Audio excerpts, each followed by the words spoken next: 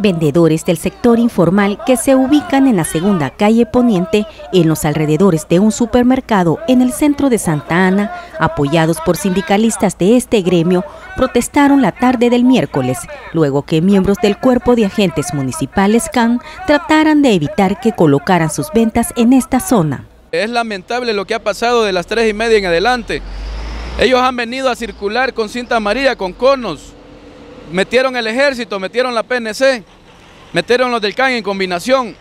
Es lamentable lo que está pasando en Santa Ana y este día denunciamos públicamente al alcalde Mario Moreira, que más, más huele que no es Moreira, no que es Mario Quijano, porque las mismas acciones que ha hecho Norman Quijano cuando fue alcalde de San Salvador son las que está haciendo él, andar desalojando vendedores, andar persiguiendo a los vendedores como que son delincuentes andar quitándole la oportunidad y el sustento diario de que llevan los vendedores a sus casas.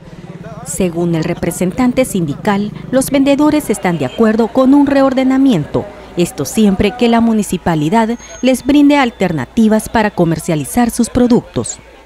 Fíjese que nosotros los hemos reunido, hemos estado en reunión con ellos constantemente, debatiendo el tema del, reordenamiento de Santa Ana y debatiendo el tema de acá de Super Selecto. Le hemos dicho que busquemos una alternativa, que los vendiemos a un, a un lugar. Yo les puse una propuesta. No los quieren en la avenida principal. Pongámoslos del poste para abajo, les dije yo.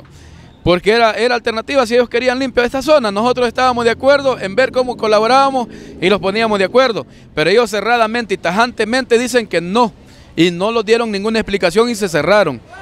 El dirigente además hizo un llamado al edil Santaneco y criticó que algunas de las principales jefaturas de la comuna estén a cargo de personas de otros municipios. Yo le hago un llamado al alcalde de que cumpla los acuerdos. Él me firmó como sindicalista 11 puntos antes de ser alcalde y me prometió que nunca iba a desalojar a un vendedor y que cuando hubiera un removimiento de vendedores lo íbamos a coordinar entre los sindicatos, algo que totalmente es falso, nunca lo ha hecho. Él lo ha hecho y esa comisión sucia y prepotente que tiene con Valerio Marroquín y este señor, y este señor Rodolfo Valdés, gerente general, que el señor en antes conoce cómo irse para San Salvador. Es de San Salvador, el señor Valerio es de aquí de Santana, aquí nació, pero en San Salvador vive. Walter Sandoval, el gerente de servicios municipales, con todo respeto, es de Texas y el gerente financiero de San Salvador.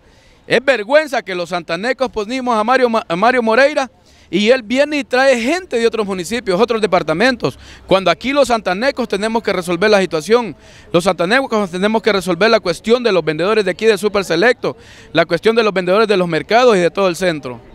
Los comerciantes también criticaron la intervención de miembros del ejército en esta problemática y denunciaron abuso de autoridad por parte de uno de los soldados. Sí, yo lamento que el ejército, pues ahí ustedes lo ven con gorros navarones. Anteriormente, lamentablemente, el del ejército que le sacó el diatagán, como hablamos en buen salvadoreño, o en buen santaneco, o Rambo que se le dice que quiso agredir a un vendedor, es vergonzoso que el ejército se esté prestando a juegos sucios, porque el ejército no le compete estas acciones.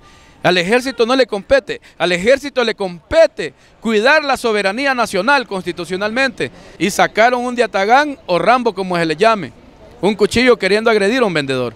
Y ustedes lo van a ver y ojalá que toda la ciudadanía vea ese abuso de poder y le haga un llamado al señor ministro de la Defensa, a, mi general David Munguía Payés, de que ponga atención porque el ejército está bien evaluado y así prestándose a juegos sucios lo van a devaluar y se va a ver mal en el país. De concretarse el desalojo, más de 17 vendedores estarían siendo afectados, por lo que aseguraron que continuarán con las medidas de presión para que sus peticiones sean escuchadas. Los vendedores se quedan reubicados.